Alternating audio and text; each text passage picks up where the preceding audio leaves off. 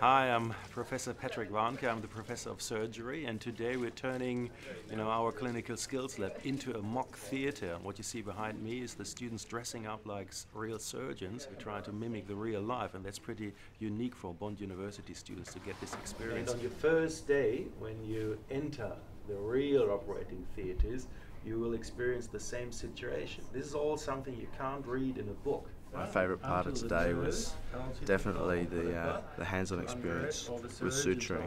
Yeah, really informative, hands-on, gives us a good idea of what to expect. Really liked being a part of the surgery and learning what I have to experience next year when I'm in the hospitals. I'll have a much better experience in putting on my gowns and my surgical equipment and I'll feel more comfortable around the surgical table. Real surgical life is very stressful from time to time and you want a student next to you as a surgeon, you want a student who is really well prepared and that's what we're training here.